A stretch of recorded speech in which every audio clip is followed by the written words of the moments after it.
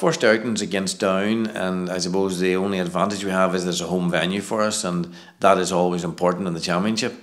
But Down are, have a great championship pedigree themselves, and we've had lots of tussles with them over the years. And I think it doesn't matter about league form or anything else coming up to this. I think Down present a, a, stiff challenge in the championship to any team, and we've seen that over the years that they are have a good championship record.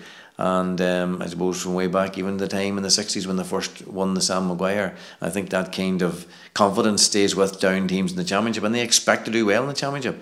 And a few years ago, I suppose they came to Omagh in 2008 and beat, uh, got a draw out of us there and went back and beat us in Newry. So you know, they're not afraid of travelling to Omagh and they'll be very capable of, of giving us a torrid time. So we need to be on top of our game. And if we're on top of our game, I'd like to think that we'll be competitive enough to, to get the result. You're going to Omagh, you're playing Tyrone and they're back door, you're going to be underdogs and, and the bookies are obviously uh, seeing it that way too. But look, it's a task that we, we'll relish. Look, we've, over it's been a long time from down. I've had a home game in the Ulster Championship. With over the last number of years, we've had to go to Armagh, Fermanagh, uh, Derry and Donegal, and we, our, our return is, is, is pretty good. So look, we'll try and see if we, we can add to that, but we know the difficulty that's going to be involved. I think we're in a good enough place. Um, we have had a good experience in the league. We've won the McKenna Cup.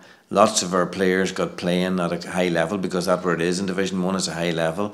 Um, they've learned what it is takes to compete in tight matches against the top teams, and I suppose they'll realise that it takes a bit more to win things in the championship.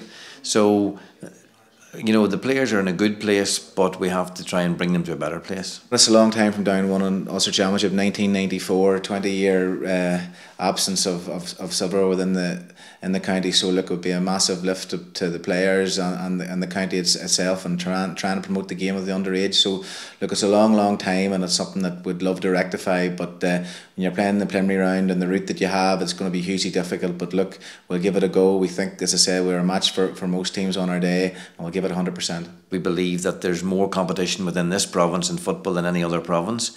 And I think the statistics prove that. And I suppose even the way the league has gone last this past season, we're now going to have four teams in Division One in next year's league. So I think that is, is fair evidence as well that there's a there's hot competition in this province, and you know everybody wants to win the Ulster title. It is a very important title for people to win, and you know we're no different.